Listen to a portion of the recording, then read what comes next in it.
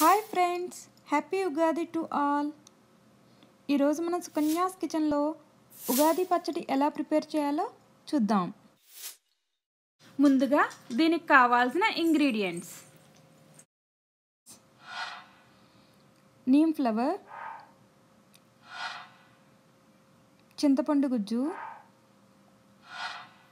Mango pieces apple ముక్కలు banana pieces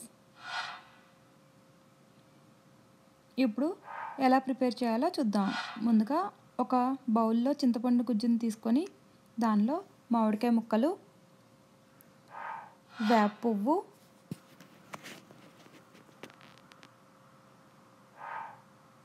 apple ముక్కలు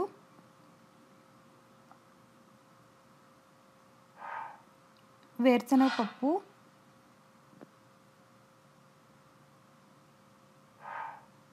banana ముక్కలు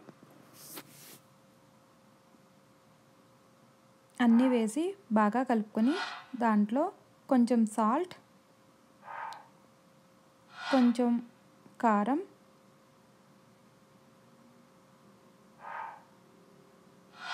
కొంచెం బెల్లం వేసి బాగా కలుపుకోవాలి.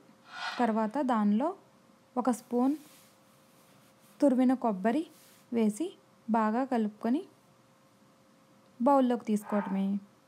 అంతే ఉగాది పచ్చడి రెడీ అయిపోయినట్టే. Thank you for watching. Please like share and subscribe.